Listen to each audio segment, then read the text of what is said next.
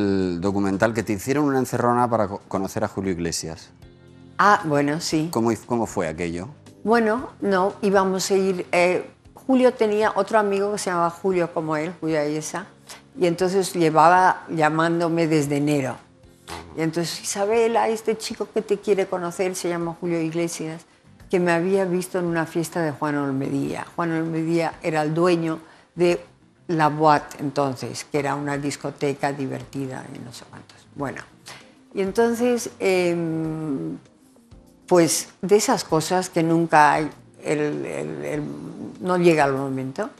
Y entonces llegamos a mayo y Tomás Terry da una cena, una fiesta, una fiesta en la casa de campo, donde Lola Flores baila y canta y muy, muy divertida. Y entonces estaba Carmen Martínez Bordiú todavía con su novio, entonces, el Rivera, Sí. el chico Rivera. Y yo fui con un grupo de amigas y yendo a la casa de campo pasamos por, por Pa- Paseo Rosales. Sí. Entonces dicen, mira quién está allí, está Julio Iglesias. Entonces miramos y efectivamente, y nos tocan la ventanilla. Abrir, abrir, esto, ¿dónde vais? Pues vamos a la fiesta de Tomás Terry. Ah, nosotros también. ¿Por qué no venís una en el coche con nosotros? Y entonces, pues, eh, pues eh, muy bien, que vaya una, que, que venga Isabel. Yo, yo dije, ¿yo? ¿Por qué voy a ir yo? Y esto, no, no, no, que venga Isabel, no sé cuál. Y se pone el semáforo en verde. Sí. Entonces me echan del coche, se mete Julio Ayesa en el esto y me, me- me encuentro con Julio. Entonces me meto y le digo, hola, soy Isabel. Y me dice, hola, soy Julio. Y así nos conocimos.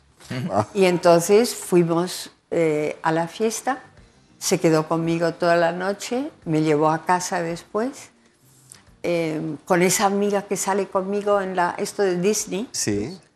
y que estaba también ella en la fiesta y allí empezamos a salir y poco Pues esa primera noche ya Sí. cumplió inteligencia.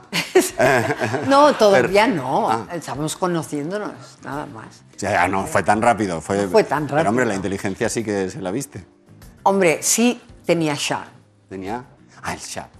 Sí mucho mucho era muy charming Julio era muy charming Sí, sí. eso lo tienes que reconocer No, no, desde luego. O sea, me parece que tiene un encanto brutal. un encanto brutal Brutal, brutal. sí sí sí cantaba y las señoras se volvían locas y le metían eh, papelitos en el bolsillo Ajá, con teléfono. con.